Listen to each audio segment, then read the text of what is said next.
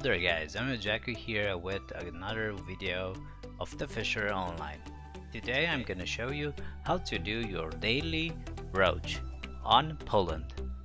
I'm gonna roll some clips with me catching the roach and after that I'm gonna show you what exactly am I using to catch.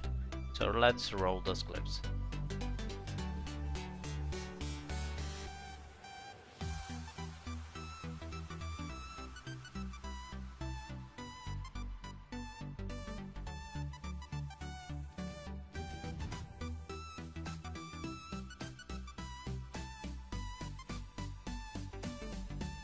Okay, so this is basically what I'm using uh, for catching the roach.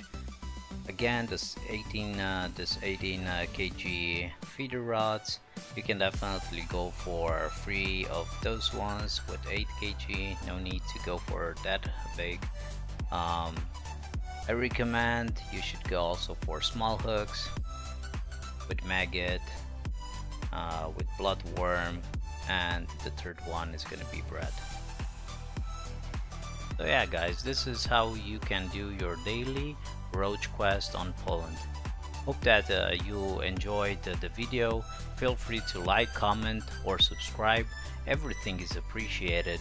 And till next time, stay healthy, play smart. I'm Jack off. Take care guys.